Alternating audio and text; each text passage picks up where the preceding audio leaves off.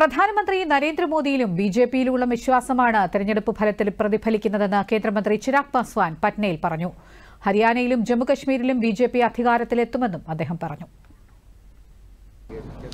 देखिए अभी जस्ट रुझान आने शुरू हुए हैं मैं मानता हूं उम्मीद करता हूं जिस तरीके से भाजपा ने दोनों राज्यों में मेहनत की है अ, जिस तरीके से हरियाणा में 10 साल का कार्यकाल भारतीय जनता पार्टी का रहा है मैं मानता हूं कि जनता कहीं ना कहीं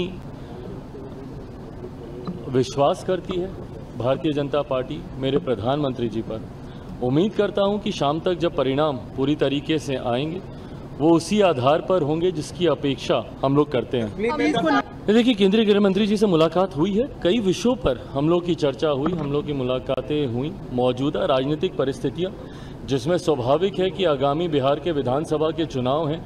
बिहारी हूँ बिहार राज्य हमेशा से मेरे लिए प्राथमिकता रहा उसको लेकर भी चर्चा हुई। कई और राज्यों में झारखंड में अलग अलग राज्यों में जहाँ पे चुनाव होने हैं उसको लेकर भी हम लोगों की सकारात्मक चर्चा हुई है। आ, मैं मानता हूँ कि आने वाले दिनों में उस सकारात्मक चर्चा के परिणाम भी हम लोग को देखने को मिलेंगे।